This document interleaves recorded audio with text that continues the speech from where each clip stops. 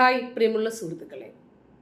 അമേരിക്കയിലെ ക്യാമ്പസുകളിൽ പടർന്നു പന്തലിച്ച പലസ്തീൻ അനുകൂല വിദ്യാർത്ഥി പ്രതിഷേധങ്ങൾക്ക് ജൂത കോടീശ്വരനായ ജോർജ് സോറോസിന്റെ സഹായമുണ്ട് എന്നാണ് ഇപ്പോൾ പുറത്തുവരുന്ന റിപ്പോർട്ട്. യഹൂദ ഇടതുപക്ഷ ചായ്വുള്ള ജീവകാരുണ്യ പ്രവർത്തകനായ സോറോസും അദ്ദേഹം ധനസഹായം നൽകുന്ന സംഘടനകളുമാണ് പലസ്തീൻ അനുകൂല പ്രവർത്തനങ്ങൾക്ക് ആക്കം കൂട്ടുന്നത് എന്ന് ദി ന്യൂയോർക്ക് പോസ്റ്റിന്റെ റിപ്പോർട്ട് ചൂണ്ടിക്കാണിക്കുന്നു. കഴിഞ്ഞ ആഴ്ച കൊളംബിയ സർവകലാശാലയിലാണ് പ്രതിഷേധങ്ങൾ ആരംഭിച്ചത്. നിലവിൽ എട്ടിലധികം സംസ്ഥാനങ്ങളിലെ സർവകലാശാലകളിലേക്ക് പ്രതിഷേധം പടർന്നിരിക്കുകയാണ്. കൊളംബിയ ഹാർഡ്വാർഡ് യേൽ കാലിഫോർണിയയിലെ ബെർക്കിലി ഒഹായോ സ്റ്റേറ്റ് യൂണിവേഴ്സിറ്റി ജോർജിയയിലെ എമോറി എന്നിവ ഉൾപ്പെടുന്ന നിരവധി ക്യാമ്പസുകളിൽ ലിബറേറ്റഡ് സോണുകൾ എന്ന് പേരിട്ട ക്യാമ്പ് സൈറ്റുകൾ ഒരുക്കിയിരിക്കുകയാണ്. ഇങ്ങനെയാണ് ഈ പ്രതിഷേധം തുടരുന്നത്.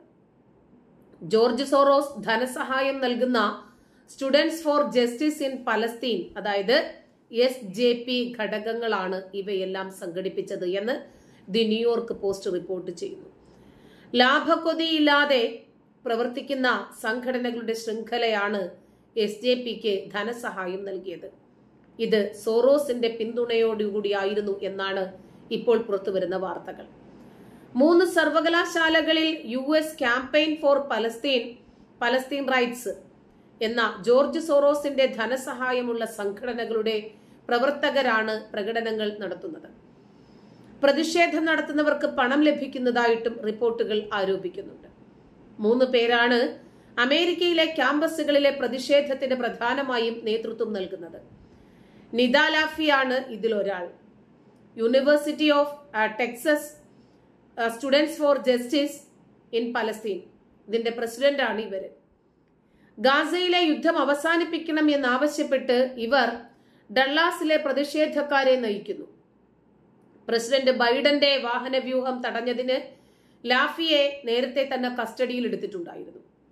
ലേയിലെ U S C R U S C P R അംഗം ക്രെയ്ഗ് ബിർക്ക്ഹെഡ് മോർട്ടനാണ് മറ്റൊരു നേതാവ്. ലൈസ് ഫോർ പലസ്തീൻ എന്ന ഗ്രൂപ്പിന്റെ നേതാവായ ഇദ്ദേഹത്തിന്റെ നേതൃത്വത്തിലാണ് ക്യാമ്പസിൽ പ്രതിഷേധം അരങ്ങേറുന്നത്. ഇയാളെ പോലീസ് കസ്റ്റഡിയിൽ എടുത്തിട്ടുണ്ട്.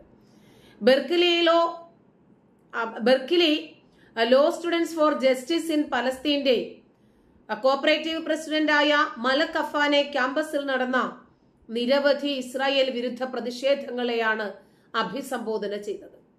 സോറോസുമായി ബന്ധമുള്ള ഗ്രൂപ്പുകളാണ് മൂവർക്കും പണം നൽകിയത് എന്ന് ന്യൂയോർക്ക് പോസ്റ്റിന്റെ റിപ്പോർട്ട്.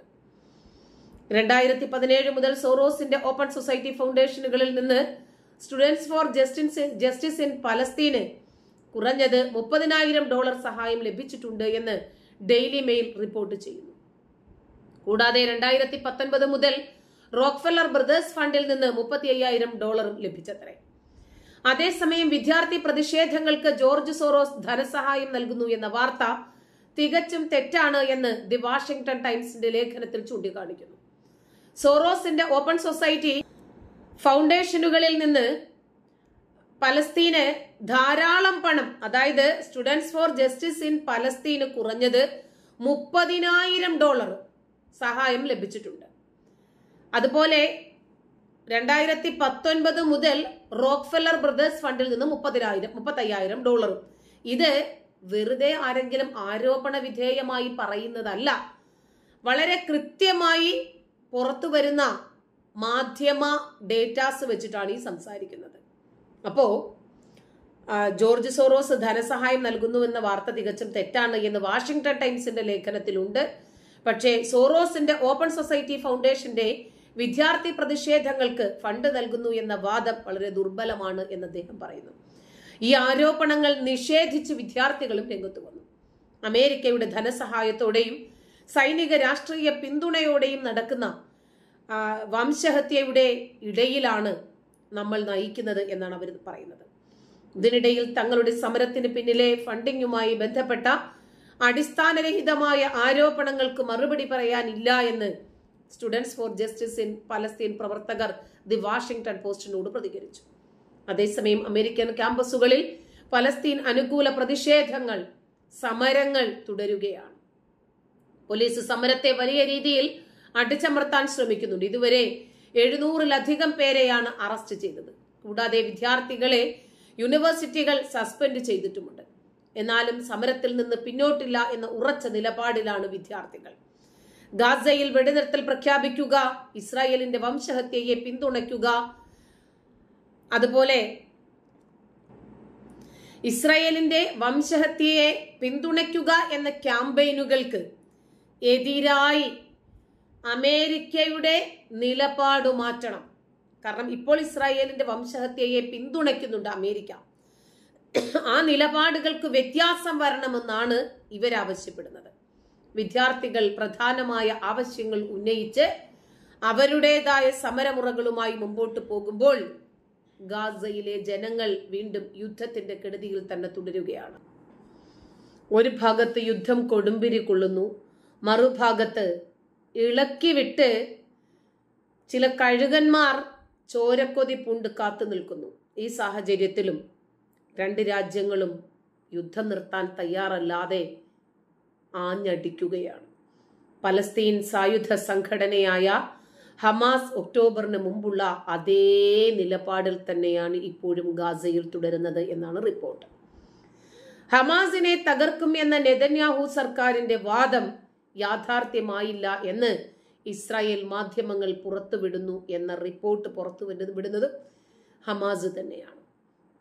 ഹമാസിനെയും അതുമായി ബന്ധപ്പെട്ട എല്ലാ ശേഷിപ്പുകളെയും ഗാസയിൽ നിന്ന് തുടച്ചു നീക്കിയതിന് ശേഷം യുദ്ധം അവസാനിപ്പിക്കും എന്നായിരുന്നു ഇസ്രായേൽ പ്രധാനമന്ത്രി ബെഞ്ചമിൻ നെതന്യാഹുവും സുരക്ഷാ മന്ത്രി യോവ് ഗാലന്റും പറഞ്ഞിരുന്നത്. എന്നാൽ നിലവിൽ ഗാസ ഒക്ടോബർ ഏഴിന് മുമ്പുള്ള സാഹചര്യത്തിലേക്ക് എത്തുമെന്ന് ഇസ്രയേലി മാധ്യമങ്ങൾ ഭയക്കുന്നു. കഴിഞ്ഞ ദിവസങ്ങളിൽ പോലും ഇസ്രായേലിന് നേരെ ഗാസയിൽ നിന്ന് റോക്കറ്റ് ആക്രമണം അടക്കമുള്ള പ്രതിരോധങ്ങൾ ഉണ്ടായിട്ടുണ്ട് എന്ന് ഹമാസ് റിപ്പോർട്ട് ചെയ്യുന്നു. ഇത് ഹമാസിനെ തളർത്താൻ ഇസ്രായേലിന് കഴിഞ്ഞില്ല എന്നതിന്റെ തെളിവാണെന്നാണ് മാധ്യമങ്ങൾ ചൂണ്ടിക്കാണിക്കുന്നത്. തങ്ങളുടെ നിയന്ത്രണത്തിലാണ് എന്ന് ഇസ്രായേലി സൈന്യം അവകാശം ഉന്നയിക്കുന്ന വടക്കൻ ഗാസയാണ് ടെല്ലബീവിന് നേരെയുണ്ടായ പ്രത്യാക്രമണത്തിന്റെ കേന്ദ്രം. വടക്കൻ ഗാസയിലെ മുഴുവൻ പലസ്തീനികളെയും സൈന്യം കുടിയൊഴിപ്പിച്ചിരുന്നു.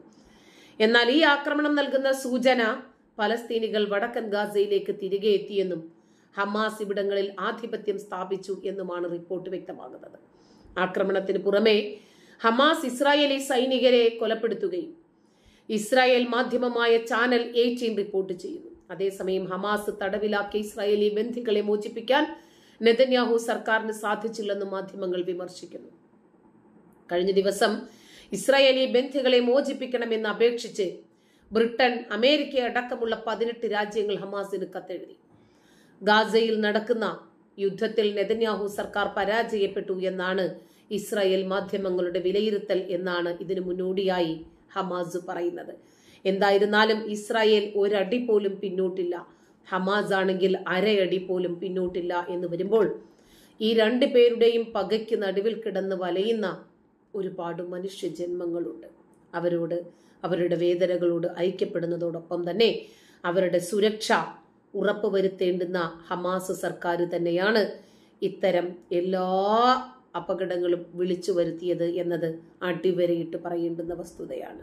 നന്ദി.